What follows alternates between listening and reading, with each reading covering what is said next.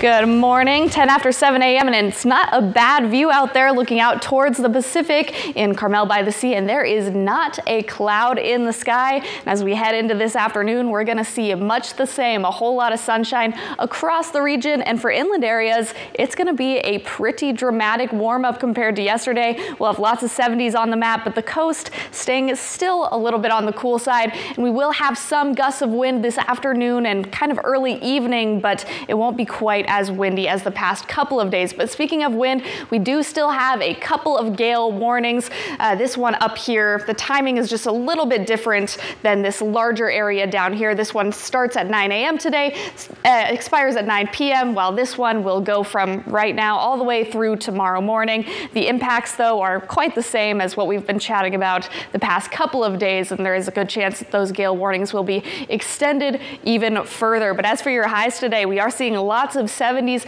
Even Santa Cruz expected to make it into the low 70s today. Low 60s though, high 50s as well for the Monterey Peninsula. We'll have 67 here in Salinas, kind of the midway point here. And then we do have some more upper 70s down in southern Monterey County. And as we head into the weekend, not a whole lot of change in temperatures, but inland will be nice and toasty. Have a great weekend.